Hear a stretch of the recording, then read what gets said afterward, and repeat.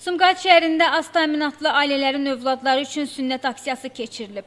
Aksiya Sumqayıt şəhər Cümə məscidinin təşkilatçılığı və şəhər səhiyyə şöbəsinin dəstəyi ilə reallaşıb.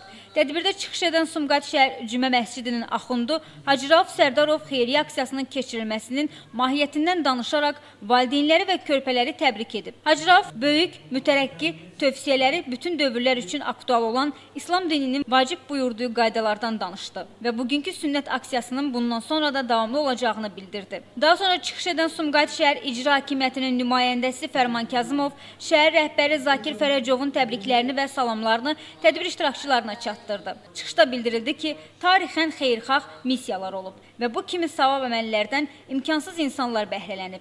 Çünki insan sevgisi, insanlığa sevgi ən ali dəyərdir. Natiq həmçinin bildirdi ki, Sumqayıt şəhər rəhbərliyi də öz fəaliyyətində hər zaman bu qəbildən olan humanizm nümunələrinə yer ayırır. Digər çıxış edənlər də təbriklərə qoşuldular. Qeyd edək ki, xeyriyyə aksiyasına aztəminatlı ailələrdən olan 17 uşaq cəlb olunub. Valideynlər bu cür humanitar aksiyanın təşkilinə görə öz minnətdarlıqlarını bildirdilər.